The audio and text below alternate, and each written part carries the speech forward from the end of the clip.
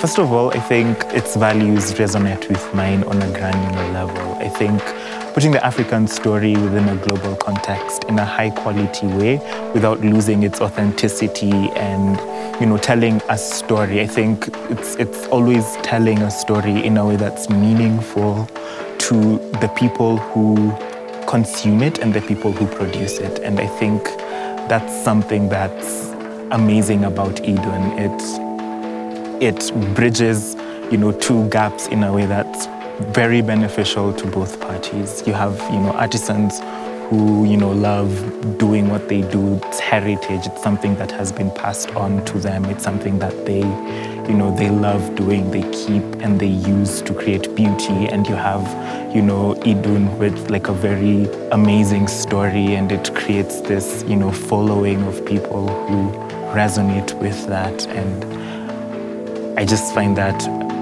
pretty cool.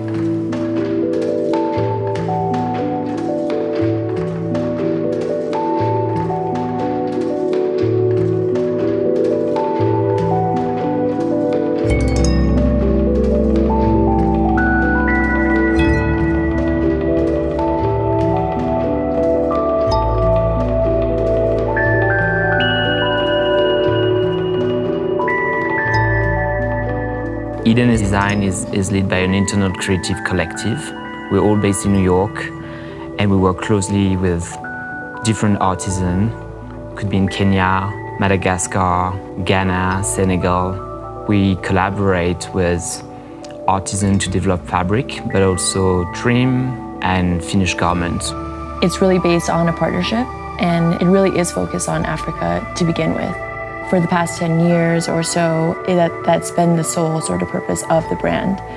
And I think with this new generation or next chapter of the, of the EDUN sort of collection, it really is about kind of enforcing that inspiration and also the sourcing as to the maximum capacity.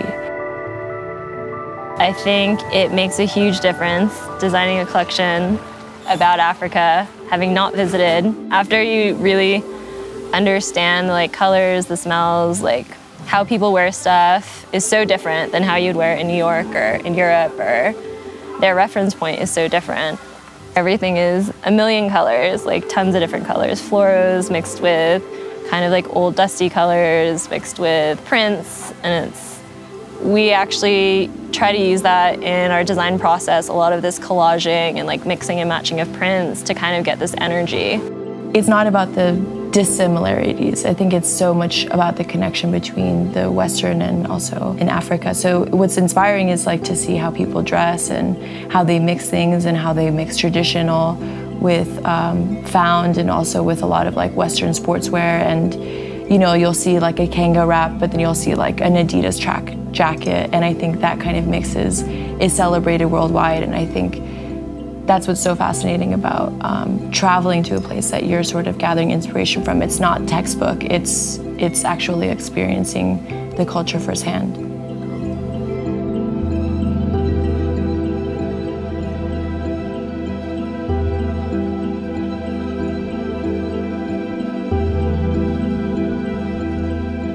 I think as a fashion company, your job is to be creative but very often when you have too much opportunity, too much freedom, you know, it's, it's start to know how to focus a little bit. And having all of this trip that has been about understanding a lot of constraint, which are the constraint that, you know, the artisan themselves have. The sourcing of the material, the electricity issue, and being able to think about a product that they can be able to develop at a very high quality, understanding this constraint in a certain way brings some creativity in our process.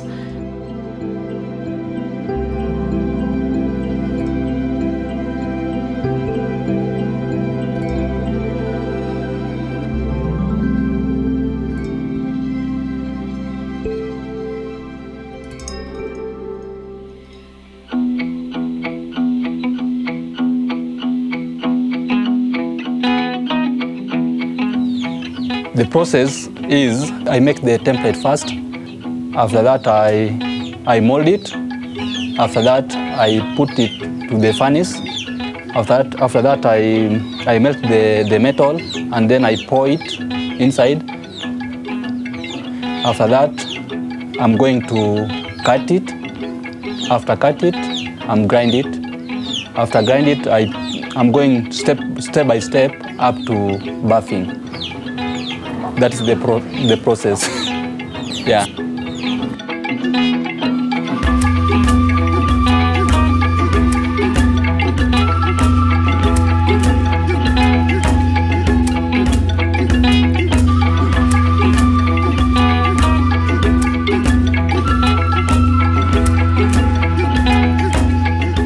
When most people think of handloom weaving, they, they think of the kikoi, know, the shawl, specific products. But now, um, the advantages that or some of the local designers here have looked at the process, uh, and textile designers look at the process of hand looming and saying, let's add texture to it by bringing in a different something to it, like you have done, by using shoelace as the, the main piece of, and, and in different colors.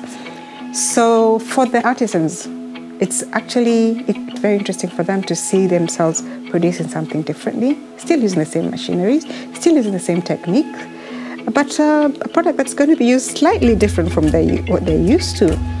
And because of that uniqueness, uh, I believe younger people will join the handloom weaving process with a bit more knowledge of creating things that are out of the norm and may be able to design beforehand different textures available for the market.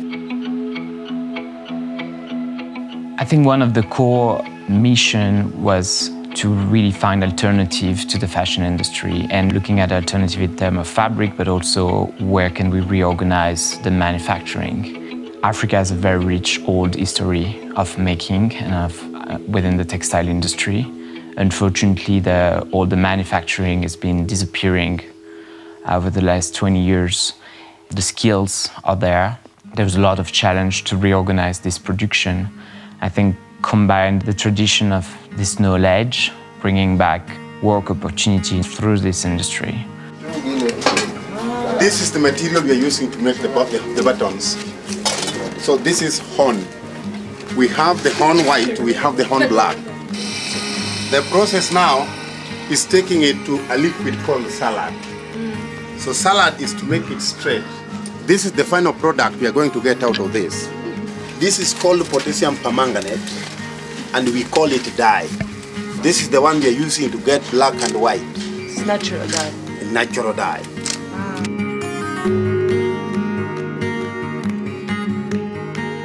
You can give me a drawing. I just sit down and start thinking because I'm, I'm, I'm, i want to do something because once you give me something, I, I, want, I, I want to make it. And I just sit down and start thinking on how I can do it. It is not something somebody can show you on how to do. Like the one you just send the, the diagrams, you send everything, the drawings. So I can just sit down and see how I can work on it. So once I see, you just think on how you can make it. There's nobody who teaches us on how to do it.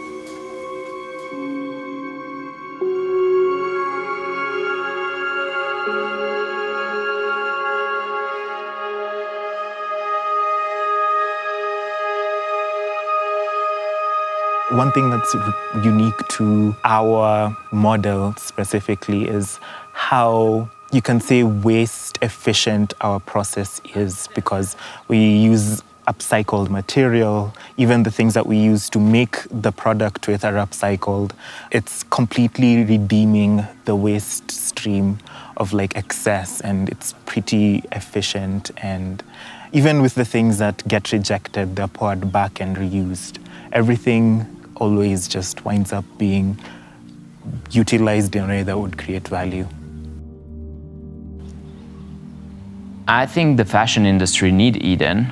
I think we're we're the right alternative, and I think customers are looking for that type of alternative. I think people are very curious about the making, the behind the scene, the origin, and that's what we want to do. We want to be able to tell our story and being able to build this community um, behind the brand of people who are going to be able to look through the garments, You know, I think it's really important for us to be able to re-familiarize the customer with what really handmade mean.